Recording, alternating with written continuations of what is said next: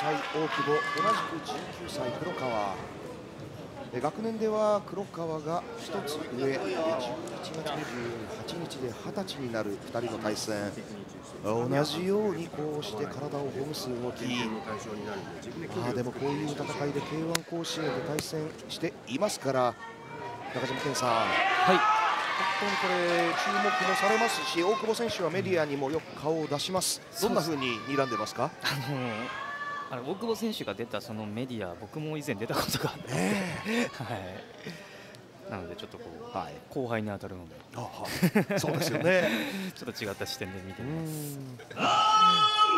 ちょっと雰囲気変わりましたよね大久保選手も、ね、対して右の蹴りから青いグローブは K1 ジム相模大のクレストの黒川エイト169センチと発表されています。対して176センチ176センチが大久保左に回るそしてもう一度右側へ強い蹴り1つローキック放っていきます。こういうところも高橋直樹選手まあ、お互いですね。距離どんなふうに設定するかでしょうね。そうですね。とりあえずは今右ハイ！動き、えー、タイミングとかを見計らって、はい、機動戦というか、まあ当たる場所を探ってますね、はい、見計らう最中から石川直樹さん、まあ、大久保もこれ自らのフィジカルですよね、うん、見直してということが一つここのところあったようです。そうですね。本当にもうまだまだここからね何段階も何段階も進化していくしパワーもついてくるお互いにですよね、はい、年齢なので、ええ、はい、今はまずねこのお互いオーソドックスサウスポーの特性を生かして、はい。ええ、お互い脱力した状態で。お左どこが自分の距離なのかポジションなのかっていうのをお互いお互いに探り合ってる段階なのかなと。まあ、しかしそうした嗅覚という点でどちらが優れてくるのか高橋選手、本当に大事な一戦ですよね、どちらがまた先に行くのかと。そうですよね、うん、かつ、ここの誰がどっちが一発を当てるかって、はい、結構ね緊張感の高い、ね、どっちが主導権をね、はい、握れるかっていう戦いなんでこのお互いそうですよね。ミドルキック当てたら自らもミドル。ローキックだったらローキックなんていうこうするような動きもあります。右ハイキック1つステップバックからまたステップで前に青いグローブの黒川です。左のパンチから。一気に入ってくる。青い瞬さらにミドルキックへとつなげてきます。今も放送席おーっていう声聞こえています。これチャンピオンでしょうかね。そうですね。今、はい、一歩あったらやっぱ空気が違ってましたよね。はあはあ、はいまあ、そういうギリギリのところあるんですね、もう。そうですね。今打ってたら、もう完全大久保選手の流れになってたでしょうね。はい、そうですか。はい。まだまだと見たのか、それとも黒川がそうさせなかったのか。まあ、そういう場面、この後いつ訪れるのか。あと30秒です。石川さん、どうでしょうね、うん、プレッシャーかけているのは。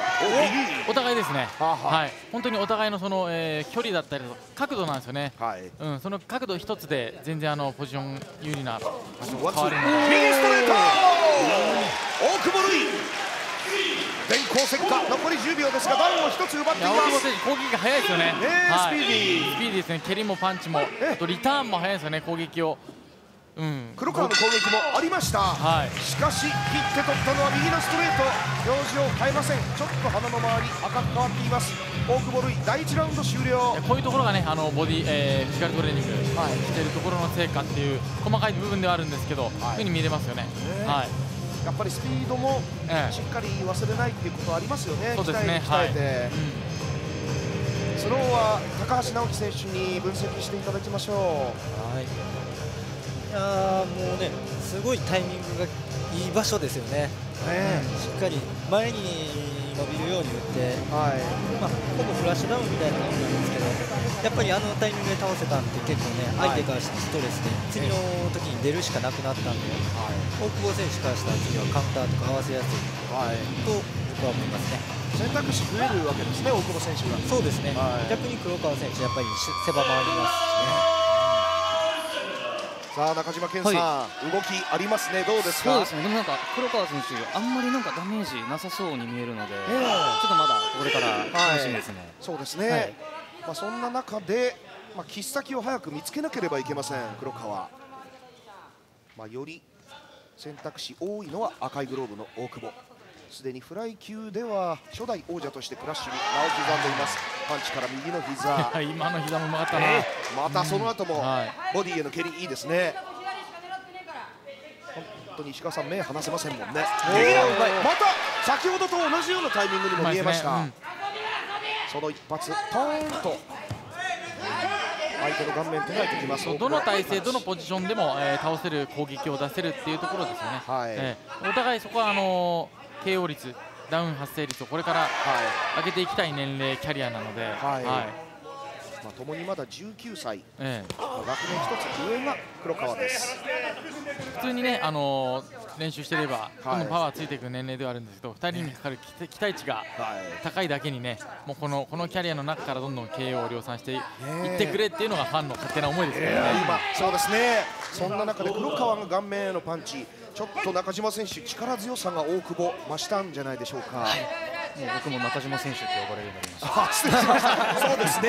中島さん、大久保選手の番組では先輩ですよね。失礼しました。はい。大久保選手、なんかもう攻撃がなんかどんどんどんどん当たっていってるような感じはします。そうですね。なんか黒川選手も全然目が死んでないので。で一つ今ハイキックも思い切って放ってきました。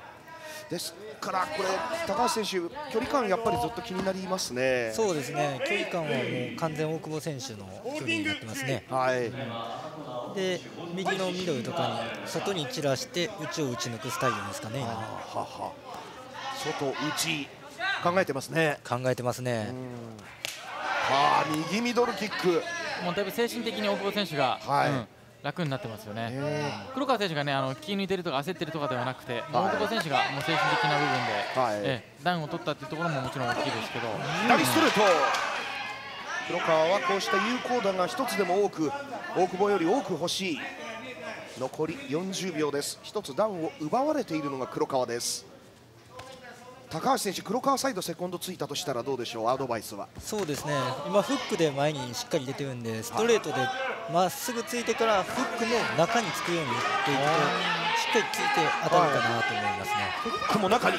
そうですね、今、外、外を意識しているのが大久保選手なんで、そこで内に当たった攻撃、打った攻撃って結構当たってると思うんですよ、はい、なんで、そこを貫いていきたいかなと思いますね。意識をさせて中央を狙う。左ストレート。その後左ハイキック。冷静ですね、うん、バランスを崩しましたが荒々しい攻防も見せて第2ラウンド終了です。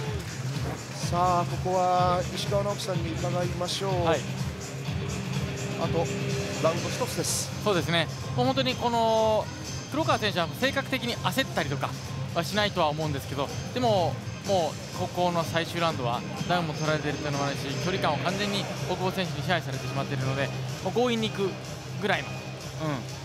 えー、力技でいかないと、ねうん、逆転が難しくなってしまいましたね。はい、まあ、パンチで左ストレートで強引にというところは一つ風穴開けては見せましたよね。そうですね、はい、そこより、えー、自分のビッグヒットだったりとかチャンスを自分でこじ開けていかないと今の大久保選手はだいぶもう感覚つかんじゃいましたね、はい、さあこちらが黒川サイド。目は生き生きとしてセコンドの声にもうなずいています。まあ、ここまでプロすべてバンタム級。え1試合は54キロリミットで戦ってきた。黒川に対して大久保。前回がバンタム級初戦でした。K1 甲子園で戦っていた2人。その時は赤いグローブ。大久保が勝っています。大久保選手もしっかりプレッシャー上げてますね。いやそうですね、はい、位置を譲らず右。黒川のパンチ。手数で黒川青いグローブ。左のフックです。前蹴り長い。そこにはストレートを届けようというのが黒川ボディ打ち。左から膝。大久保がロングコンパスを生かしてまいります。赤いグローブ。膝のタイミング膝抜群ですね。えー、いいですね、えー、まあ、しっかり相手を見極やめて見極めてその後ですもんね、はい、あと膝を打った後のバランスが崩れないっていうのも見逃せないですね、まあ、これもフィジカルトレーニングの成果一つ出ているんでしょうか、まあ、時間がかかると言いますけれどもね、えー、左。つっかい棒のように長いリーチ。フィジカルトレーニングって、ね、結構あのあの一番良くないのはやってるだけで満足しちゃう選手も多いんですよ。でそのちゃんとフィジカルトレーニングでパンチにもいやキックをする練習じゃないので、はい、地味な練習なのでそれをちゃんと、えー、自分のキックボクシングのスタイルにどういうふうに、えーマッチングさせるかっていうのは、その選手の能力なので、ええ。え、そこが非常に長けてるんだなっていうのがこれが大久保選手が今証明してくれてますよね。高橋選手これ緊張感ありますねまた。ありますね。やっぱり一発持っていくパンチ持ってるんでねうん、持ってますよねはい、えー、まあ、黒川は何としても顎をキッと引いて拳を顔面ボディ当て込んでいきたい。しかし中島さん、はい。まあ、大久保もスピードがありますもんね。ありますねすごく、えー、黒川選手もでもこうタイミング取られてるんで、はい、ここはもう行かないと。飛び膝あ体の軸でこれを振り払ってみせました黒川です。ホールディングコート注意1リング中央を取って黒川距離をなんとか取り直そうとします。左ストレートまもなく残り時間は1分になろうとしています。まあ、終始高橋選手こうやって黒川を追いかけるんですね。そうですね。下がらされてる状態じゃなくて、はい、大久保選手は自分からちゃんと下がってるんで、はい、うん。ちゃんと距離がね、はい、ちゃんと合わせることできてますからね。はい、その絶妙な設定、黒川も仕切り直しますが、あと40秒。いやヒリヒリするような攻防。一つ左強心ボディから右ストレート黒川。膝から右は大久保おチャンピオンの方向が聞こえました。高橋選手。いやもうね。ね。今もう一回転。すごいな、えー、切れ目ありませんね、はい、さらに左のストレート黒川。もう一度圧力をかけ直す。ここで小さい4つとかの攻撃やったらね、えー、変わるんですけど小さくか、ね、小さく黒川選手がいけた10秒切りました。黒川はそれでもまだ左を思い切っていく。その後の右も控えているんですよ。膝。大久保の膝。ああちょっと気持ちが見えたか。試合の第3ラウンド終了後の黒川崩れかけましたが。いや黒川選手の、ね、あんだけのプレッシャー、そして左のパンチ、はい、全て完封でしたね。なんとこの進歩、うんまあ、2人ともそうですがね、うん、はい、クリーンヒットはほとんど許さなかったですからね、大久保選手。さあ判定の発表です。ジャッジ西村30対28赤大久保。大久保1票30対28 30対28赤同じく大久保塁30対27赤大久保3人目は3ポイント差。30対27勝者赤コーナー。大久保プロでの戦い。クラッシュでの戦いでも大久保塁が黒川エイトを制しています。いやでも高橋直樹選手本当に目が離せない戦いの中テクニック合戦であったりなんとかしようという黒川であったり見どころたっぷりだったんじゃないですか？いやもう手に汗握るような、ね、すごい目が離せない、ね、神経の切り合いのような、ね。えまあため息も伝わってきますけれどもね。中島健選手、はい、まあ、リプレイもご覧いただいています。本当にタイミング良かったですね大久保選手のパンチ。そうですねもうなんか全部当ててたイメージがありますね終始、はい、すごい本当うまいっていうイメージがそのうまさからまた今度は倒すフラッシャーへそして K1 グループへの戦い期待されます。大久保瑠衣